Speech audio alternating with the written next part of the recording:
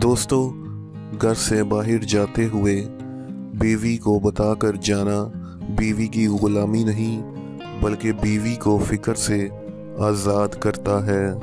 ख्वाहिश नफसानी से भरा हुआ आदमी अपनी बीवी को अच्छा नहीं समझता।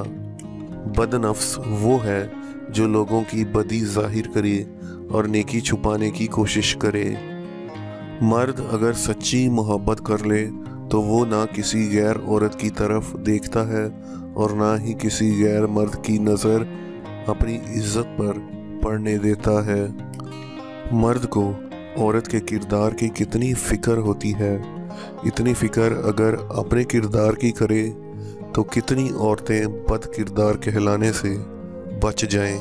औरत को अपने कपड़े और मर्द को अपना नफ्स संभालने की अशद ज़रूरत है।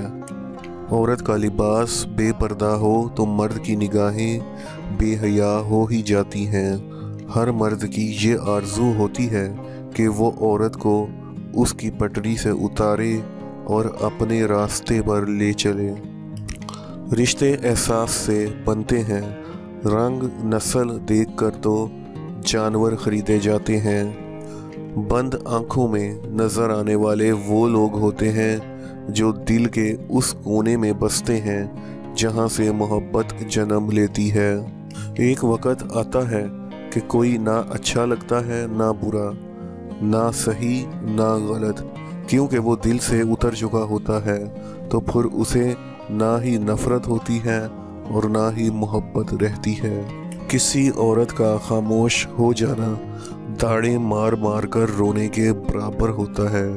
कोई औरत जब तकलीफ़ में होती है तो वो आपको नज़रअंदाज करना शुरू कर देती है।